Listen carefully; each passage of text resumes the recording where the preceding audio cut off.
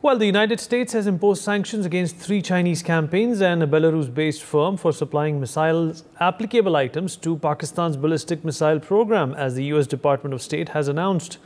These prohibitions have included the making of any contributions or providing funds, goods, or services by, to, or for the benefit of any blocked person, and the receipt for any contribution or provisions of funds, goods, or services from any such people.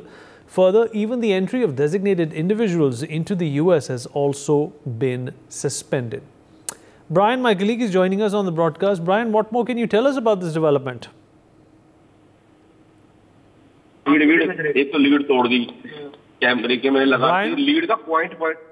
Brian, if you can hear us. All right, well, there seems to be a technical issue in connecting with Brian. Mr. Sanjeev Srivastav, International Affairs expert, joins us on the broadcast to talk more about this. Mr. Srivastav, another day in uh, US and Chinese diplomacy, or rather the lack of it.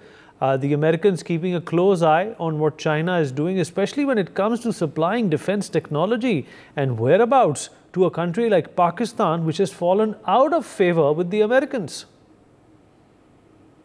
Well, Vinit, first of all, a very good morning to you. Good morning to all the viewers. Uh, you know, I, I think uh, this is a, a, very appropriate step uh, uh, United States of America has uh, taken uh, uh with uh, regard to the ballistic missile uh, program of Pakistan.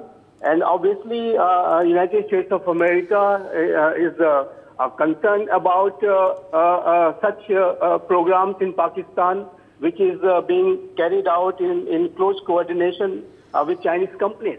And, uh, uh, uh and Pakistan is a country which is, uh, you know, that epicenter of terrorism.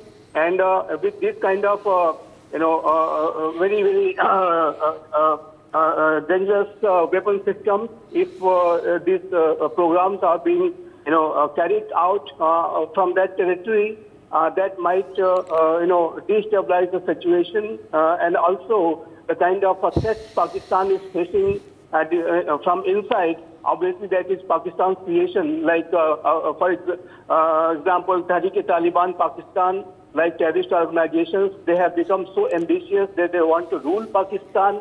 Uh, and uh, and uh, and uh, issue of the menace of terrorism is uh, becoming uh, more and more severe in Pakistan. So in this kind of a very unstable uh, scenarios in Pakistan, I think that this step by the United States of America with regard to the ballistic missile development program of Pakistan is a very appropriate step.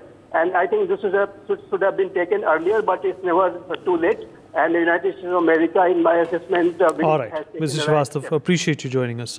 For more such videos, subscribe to the NewsX YouTube channel, hit the bell icon.